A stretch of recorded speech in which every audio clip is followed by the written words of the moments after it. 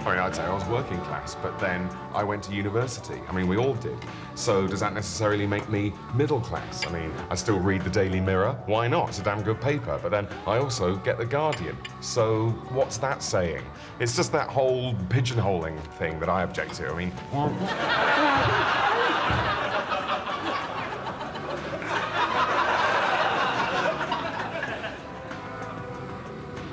Steve.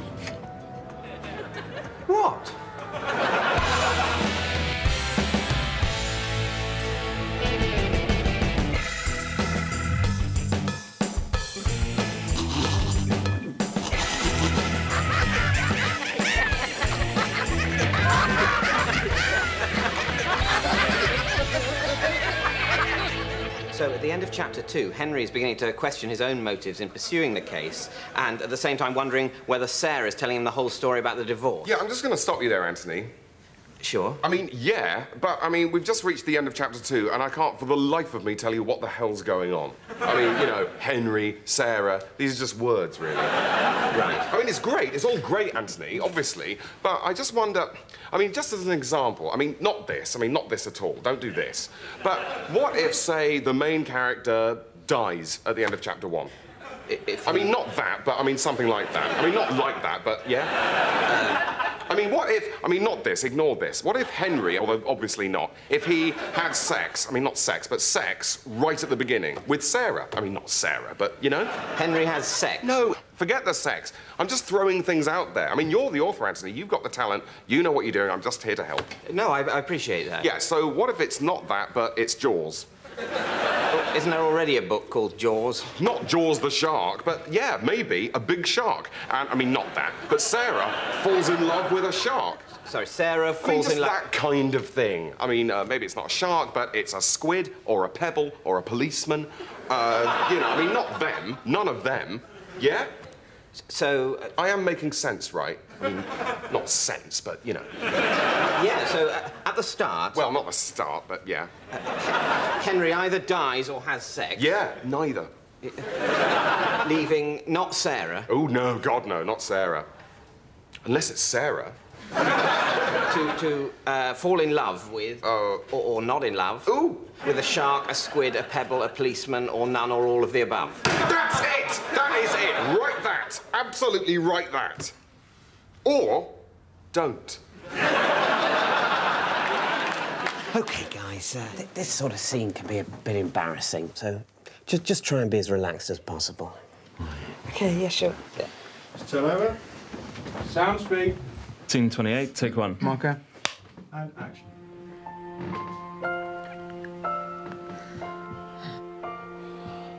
Now we know. Now we know.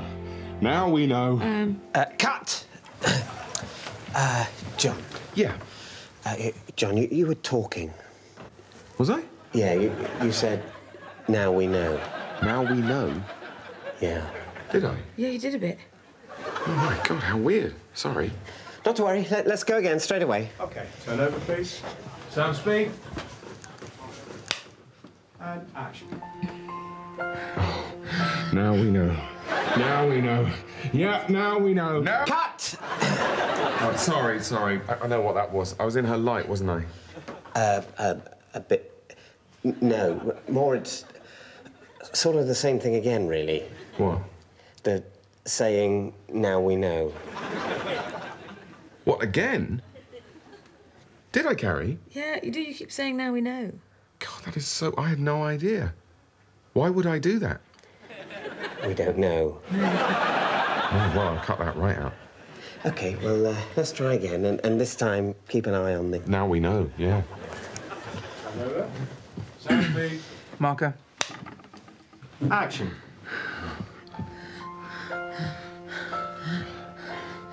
Oh, now we know. Now we know. Now we know. Now we know. Now we know. Now we know. Now we know. Now we know. Cut! You're both doing it now. Oh, you're kidding. Are you doing it now? Apparently. Right, look, let, us go again, uh, but this time we, we won't take sound. We- We'll get the pictures, I can talk you through it, and we can put the sound on afterwards. Okay. Okay. Mute board, please. Turn over. And action. That's great, John. Yeah, lo- lots of passion. Yeah, that, that's that's good, Carrie. M- Mind the shadow there. Maybe roll round a bit. Yeah. Yeah. Oh, yeah. Now we know. Now we know. Oh, yeah, we know now. Now we know. And he walked by on the other side, leaving the man helpless. But then, who should wander by but a Samaritan of all people? And he actually helped the man. Hang on, Master. No, he did. He went over and actually. No, sorry. No, no, no. I, I mean, this is what I'm saying that a Samaritan, all right, so have a good think about your attitudes, went and helped. Yeah, no, I see. No, no, no, stick with it. Because what I'm saying is that he was a good Samaritan. That's good Samaritan, if you can imagine such a thing. Yes, yes, I can. I, I think we all can. Yeah. I, I know there's a lot of prejudice against Samaritans, which is terrible. But I'm sure I speak for everyone in this room when I say that there are loads of really nice Samaritans. Yeah, some of my best friends are Samaritans. Yeah, me and the wife went on holiday to Samaria last year, and they were lovely people. Couldn't do enough for you. Yeah. So, no, so what I'm finding offensive, and I'm sure I'm not the only one, i- i- is your unreflecting acceptance of this cliche that all Samaritans are wankers. No, I'm saying he was good. Yeah, but you're implying that the fact that he was good is worth a story in itself. It's some kind of weird curiosity, like an albino Nubian. No, I'm saying that goodness comes in unexpected places. Yeah, and I'm saying that the fact that you wouldn't expect goodness from a Samaritan betrays your inherent racism. okay, okay, all right, that's a big word. Let's just take a deep breath here. I, I didn't mean to offend anybody, that's the last thing I intended. Um, I didn't realise there were any Samaritans in the room. no, that's not the point. Or Samaritan sympathisers, you know, Sammy lovers. Oh, I can't believe I'm hearing this. No, no, no, no. I, I didn't realise it was such a PC environment here, and I suppose I thought that having what was only intended as a fond pop at our Samaritan neighbours, friends even, if you like, would not be inappropriate in the context of a story which is, after all, about goodness. And at the end of the day, it is only a parable. What, it didn't really happen? Well, of course not. A Samaritan tosser wouldn't do that for his own grandmother. Jesus Christ! What?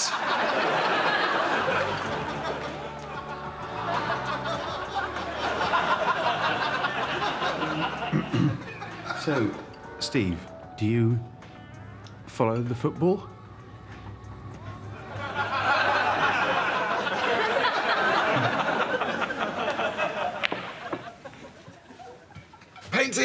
Lady romped home in the third. Yes!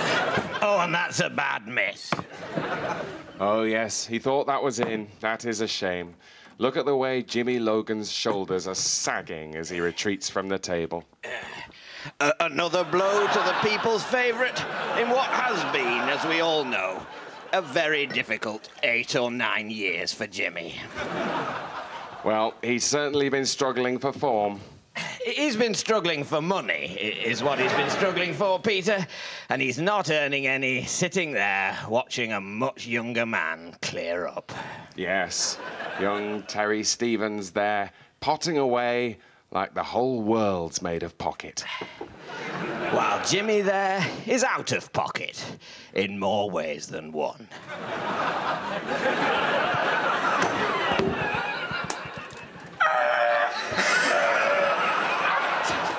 Pocket? Yes, that was a good one.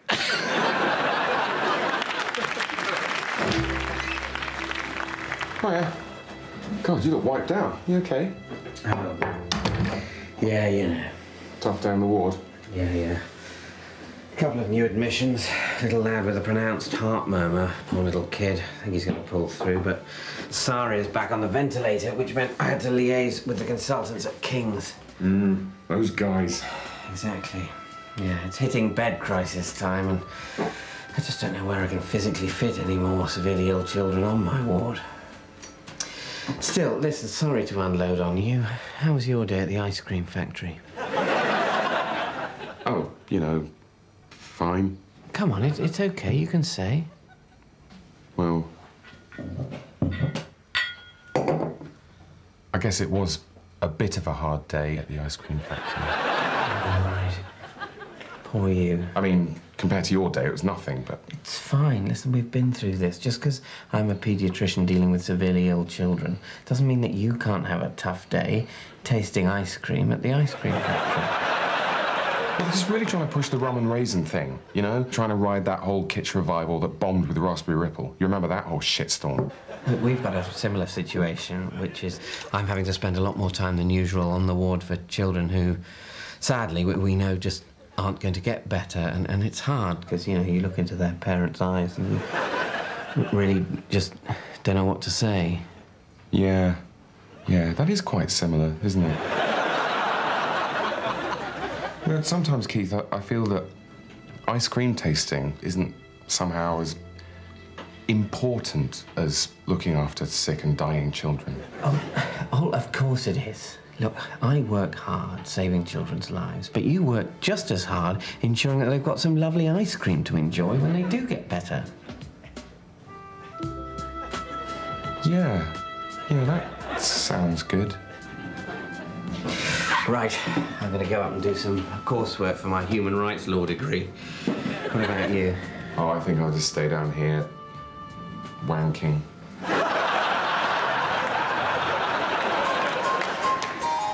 So, obviously it isn't finished, but was this the kind of thing you had in mind? Uh, Yeah, I tell you what it is, Leonardo. It's definitely along the right lines, but can I just throw something in? I mean, just as an example. So, I mean, not this. But if it, well, if it kind of came like, I mean, not this, not this. I mean, obviously, not this. But if it did a kind of, you know, I mean, I mean, not not this, not this at all. I mean, you're the artist, so you'd probably do this much better than me. But if it if it was more kind of, well, that kind of, yeah. So something like that. I mean, not that, but that.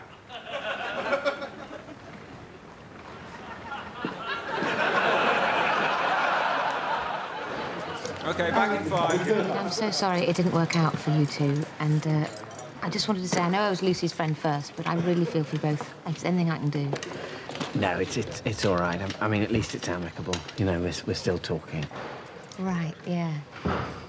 Is that a good idea, do you think? Uh, no, right, yeah. I mean, I mean, what would you advise? For all it's worth, take a box of her belongings that you still got round to where she's living now. Um, and burn them in the front garden while doing a sort of dance.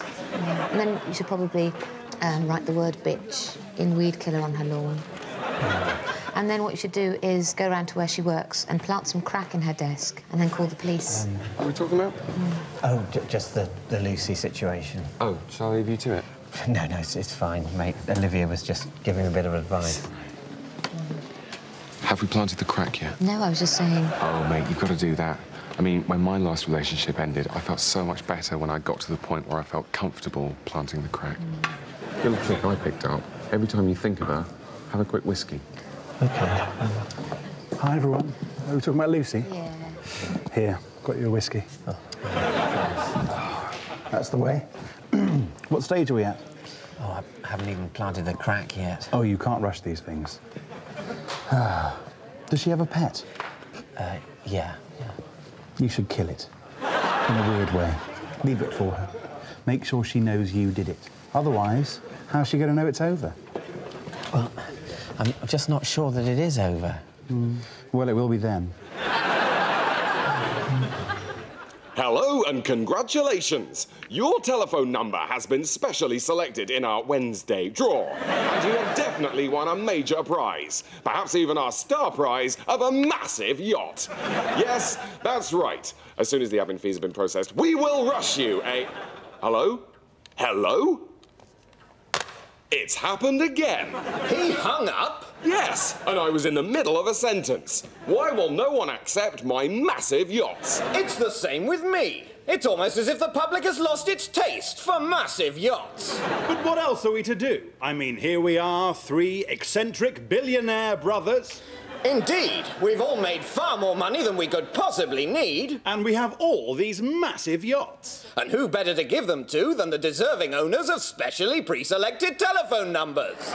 Yet it never seems to work out like that. No, they just hang up, It's the height of rudeness. Could it be something about our voices? Hardly. Our voices are warm and reassuring. Don't tell me we spent all that time during our childhood going to elocution lessons every Tuesday for nothing. Hmm, Could it be the admin fees that are putting them off? But that's ridiculous. The admin fees are only a few hundred quid, whereas the massive yachts are worth thousands. I know, I know. I mean, someone's got to pay the admin fees. There's a lot of admin accumulates around the giving away of a massive yacht. Not to mention postage and packing. Well, then, it's a mystery.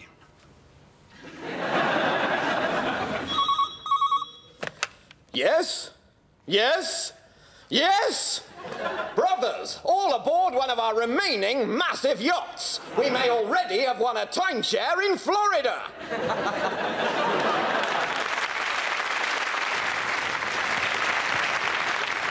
Hello, what's this? Jump off a cliff, two pounds? That's it, yeah. Sounds exciting.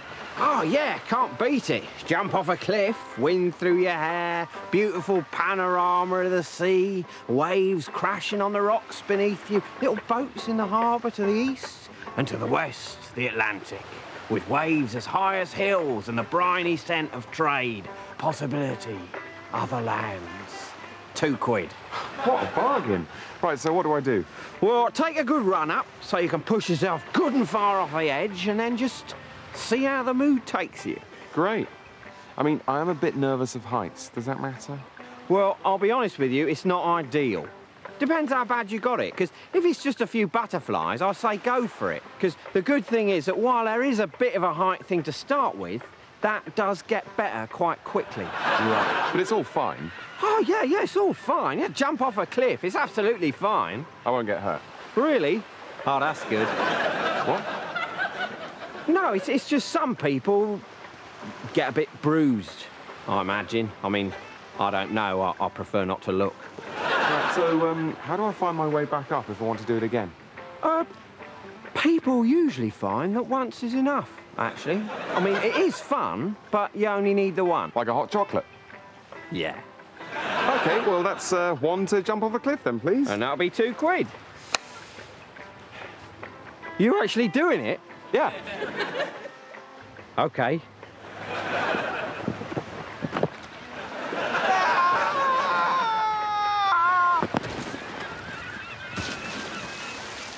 Try to stop him.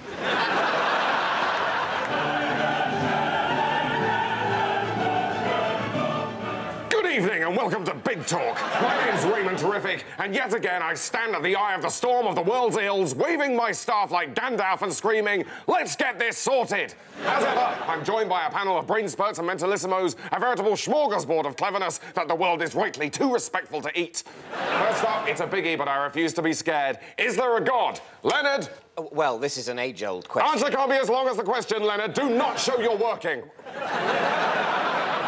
Well, of course, it, it's, Yes it's a matter or of- no? Uh, yes. Great, he shoots, he scores. Right, moving on. Next, what are we going to do about... Hang on, there isn't a God. But he said there was. Yes, but that was just. Leonard, did you or did you not just say there was a god? I did. So has Danielle got new information or were you playing me like a balalaika? Uh, no, it, it's Come just... on, boffins, I've already wasted time saying balalaika when drum would do. Let's get this sorted. I think the, the problem we're having here is that Leonard thinks there is a God, and I think there isn't. Oh, you are having a go.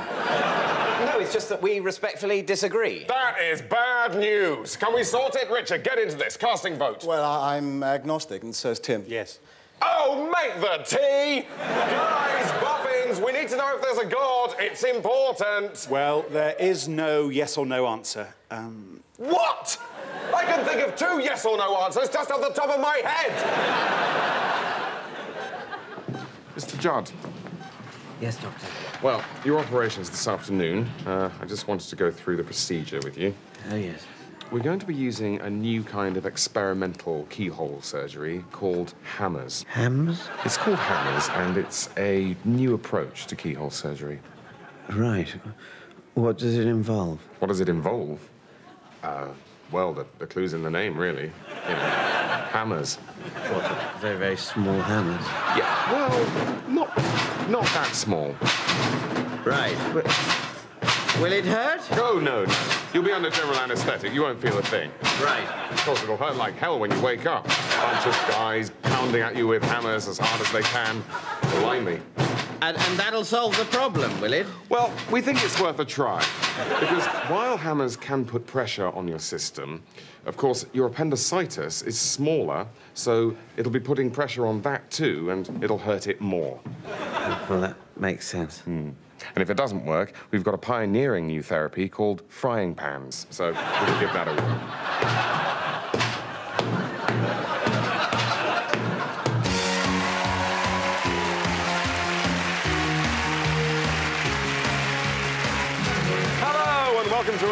Edition of Number Wang, the numbers show that simply everyone is talking about. Yes. Let's welcome our two contestants. It's Julie from Anglesey and Simon, who's from Anglesey. So, Julie, do any singing up there in Anglesey? Yes. Simon? No, no, no, I don't sing in Anglesey. Oh, why would I sing? For can't you see, I cannot sing. Oh, what a shame. Right, bit of a change this week on Number Wang because instead of starting with round one, we're going to start with round one. So let's play Number Wang. Julie, you go first. Seven. Simon? Two. Forty-six. Eight. One and a half. Nope, none of those are Number Wang. Fifty. No, Nine. Naught. no, A million. no, Infinity. no. Infinity and a half. You can't have infinity and a half. Oh, five. Simon? Uh, 6.2785. No, Oh, one and a half. you've already said that. Vase. That's not a number, Julie. I can't think of any more numbers. Well, what a situation we have here. Unprecedented in the history of Number Wang. That alarm means it's been three whole days without anyone getting Number Wang, which means we have a sudden death tiebreak.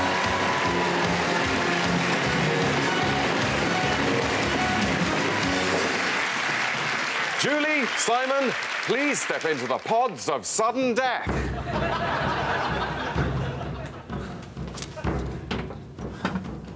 The rules are simple. The one of you to die first wins. Okay, Julie, Simon, are you both ready?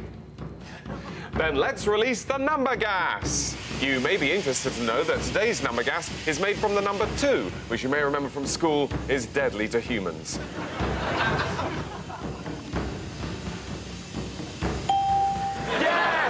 Julie's gone. That is number one. Well done, Julie. Simon desperately trying to inhale the deadly number gas there, but it's too little too late. Simon, you've lost. Join us next time for more Number Wang, but until then, good Number Wang! Oh, well, that's brilliant. Thank you. Great news, guys. The bank have agreed the loan. Oh, that's great. So now we can go ahead and start up our own dry cleaning business. Great. No more working for other dry cleaners. Finally, we can really go it alone. So the last thing to decide is, what should we call it? Well, I think it should definitely be a funny name. Yeah, a, a funny name, like a hairdresser's that's called Fringe Benefits or A Cut Above. So what would one for a dry cleaning shop be? Well, I've had a thought actually. I mean, I think it's funny. It's certainly a phrase I've heard, but I'm just not quite sure what it means. It's touching cloth. Oh, great. Touching cloth. Yeah, that, that's certainly a phrase I've heard. It's got a ring to it, hasn't it? Touching cloth. So, so what does it mean? Well, obviously, part of what it means is what we would be doing. You know, as dry cleaners, we'll spend most of our day touching cloth. Yeah, yes, and of course our customers who bring in their clothes for us to dry clean, they'll all be touching cloth as well. You know, as they hand the clothes over, they'll be touching cloth. Well, great. That all works out brilliantly. And what's more, what I think will make it funny is that I think that touching cloth has a double meaning. It's just, I'm not quite sure what it is. Right, well, well, that's great, but I think it's probably quite important that we find out exactly what the other meaning of touching cloth might be before we call the sign right or get the notepaper printed. Yeah, does anybody know what the other meaning of touching cloth is? I know. Oh, great. Is it funny? Yes, it is. it is funny. What is it? Well, when you're touching cloth, what you're doing is that you so need a poo that you've sort of started to poo yourself, but you've managed to stop at the point where a bit of the poo is actually touching the cloth at the inside of your pants. Oh, right. I had no idea there was a name for that. That is funny. And it's funny because it involves poo. Yes, it is very funny. My only slight worry is the association of getting poo on clothes, which, which I agree is funny. Is that association appropriate for a business such as dry cleaning, which is, after all, supposed to be about getting clothes clean? Oh, yeah. But, but I don't think it's really a problem. Yeah, you can worry too much about these things. And the way I see it, there's an upside.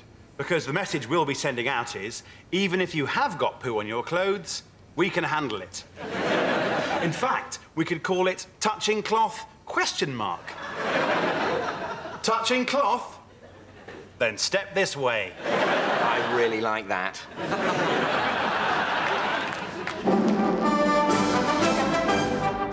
So, Mr. Winkleman, tell us about this rather splendid vase that we're both looking at. The vibration. The vibration. I can't stand it. It's all right, Mr. Winkleman. It's quite normal. It's just the thermonuclear radion machine that we use to generate the television. It's quite safe. Although, a rather amusing side effect is that all of our real hair fell out in the first 48 hours. so, you were saying, the vase. Um, yes. Uh, well, it's a family heirloom, which I think dates from 1760s. Well, that's fascinating. And I'd just like to point out to viewers that it's only through the new magic of television that they can actually see us looking at this vase and describing it to them. Have you got hot balls, too?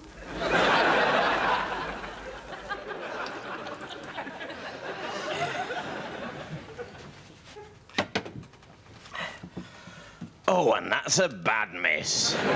Well, that was a cruel miscue. And as the cue ball careers into the black, Jimmy must be wishing that his bank balance would do something similar. Yes. Uh, uh, th- this is a, this is a tough game. J- Jimmy knows that, but what what on earth possessed him to think that horse racing was going to be any easier? He called it an investment, but in reality, he was just hanging around Ladbrokes when he should have been practicing his long pots. And the results are there for all to see on his careworn face with its bad wig that no longer matches his remaining hair.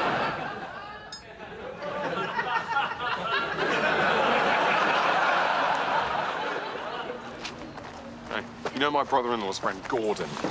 Oh, what? The, the one with the cleft palate and the wonky ear? No, no, no, not him. No, the Gordon who sends out those awful Christmas newsletters. I got my reply ready this year, yeah? Dear Gordon, thank you for your very comprehensive Christmas newsletter telling me about what you and all the family have been up to over the last, is it only a year, and yet so many GCSE results and wisdom teeth out. Quite a roller coaster. As this served to replace a conversation we might have had, here is my response. Good, good, good, good, good. Oh, by the way, good. Yeah, me too. Yeah, me, not much. Bye. You really are a bastard, aren't you? Why? I mean, what's he going to reply to that? I hadn't really thought that far ahead. Dear Robert, I'm sorry to have annoyed you with news of my family. I suppose these newsletters are a little impersonal, but I know that a lot of my friends are interested to hear how we're getting on. And I must admit that around Christmas, I don't really have time to write to everyone individually. I'm sorry to have cut a corner so abhorrent to you. And needless to say, I won't be wasting your time again in future. P.S. Little Jane says she loves you. Sorry, Gordon. Forgive me, Gordon. I'm not Gordon. Where's Gordon?